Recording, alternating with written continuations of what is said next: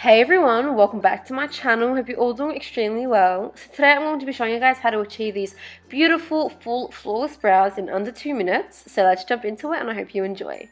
First thing you want to do is grab a spoolie and brush your eyebrow hairs into place. If they're a bit long, feel free to trim them.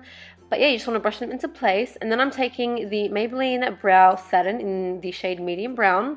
And I'm taking the pencil end to line the shape of my brow and slightly fill in my tail but I'm really just using this to define my eyebrow shape and especially the top of it and the bottom of the front.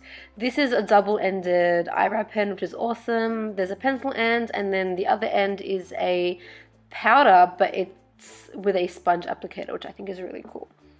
So then you want to take the spoolie again and brush down your hair so you can see all those gaps.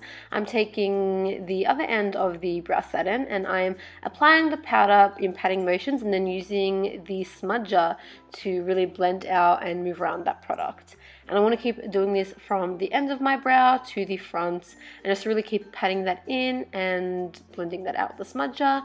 And then I am taking the spoolie again and brushing my hairs into place and that is it and that is the before and after, so without the brow satin and with and with it. Thank you guys so much for watching. If you enjoyed this video, please like and subscribe. Leave a comment down below and I'll see you in my next video. Bye guys.